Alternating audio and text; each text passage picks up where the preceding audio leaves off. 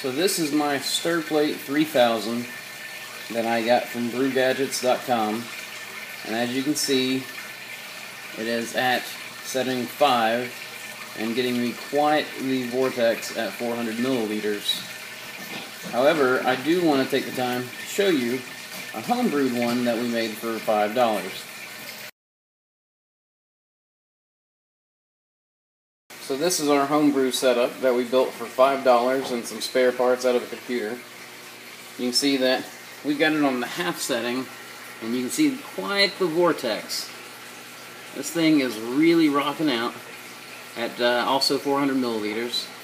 We built a cooling system right here so that you can feel a really nice breeze here. We have it all hooked in through the potentiometer which allows us to uh, cool the system off at the same rate that we're driving the fan. You can see the inner workings here a little bit. It's not very pretty to look at. We'll pretty it up later. But it is way more than just functional. I, I prefer it over any other stir plate that I've used.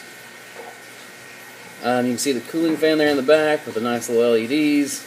Uh, eventually we're going to build a cabinet incubator stir plate combo, and I'll show you guys the uh, what we have for that. Uh, I just wanted to show you this and show you that uh, you can build a stir plate for yourself much cheaper and get a much better quality one than the ones that you can get online. Look at that thing go. Here, let's see how long it takes us to uh, throw the bar. Oh, there we go.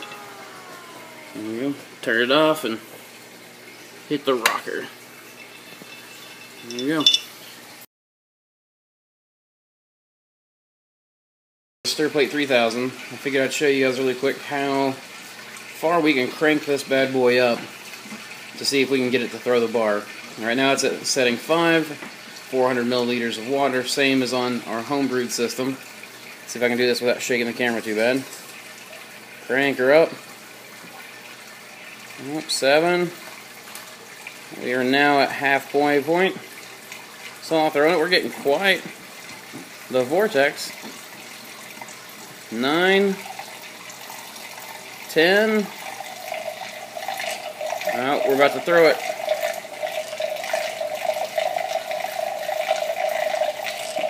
Well, at 400 milliliters of water, we can go full speed without throwing. Oh, no, there we go.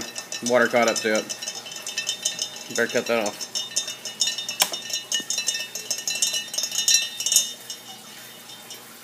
So the homebrew system may not be able to get quite the same level of vortex. However, for stirring cultures, we need just something kind of gentle.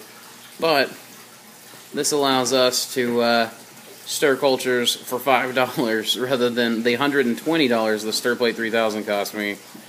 And it only works marginally better. Also, they shipped it without a leg. So now it has quarters.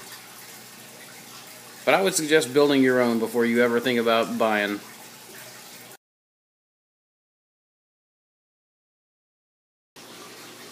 Here is the homebrewed setup with a thousand milliliters of water in a beaker on a low setting, which is what we'd be most likely to use it for during culture stirring. Just a low thing for a few minutes every day. However, I wanted to show you guys whenever we pump this thing up.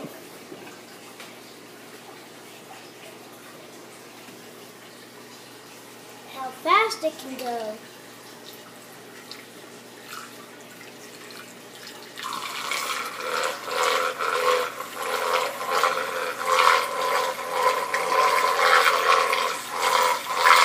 And that is full speed.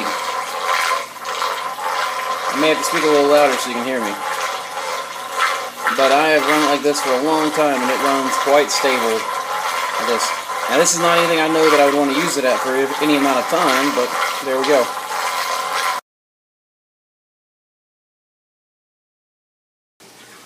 Alright, let's crank up the stir plate 3000.